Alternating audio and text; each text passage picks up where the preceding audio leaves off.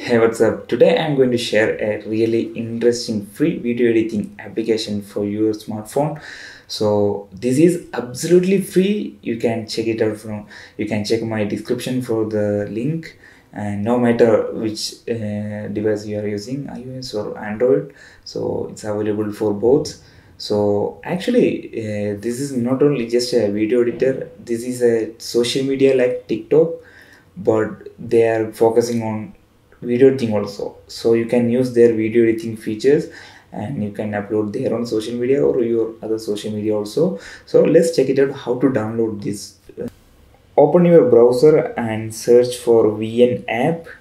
So you can go to their website. Uh, sorry yeah vn app and just install that's it. It's very simple no need to purchase everything is absolutely free. So i don't know what tomorrow but today it's completely free you don't need to pay anything. So just install it at least. Uh, yeah. Now you can open uh, your profile and create a account like social media any other social media. And yeah, here you can see my profile and just follow me for the more videos and and I will upload some videos here also. Yeah here you can access new project and everything. Now let's check it out how to create video something like this.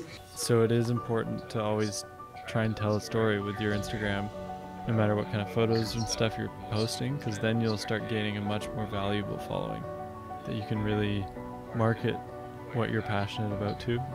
so let's check how to create uh, the video exactly same like this. So there's another video you can access from here. So stay tuned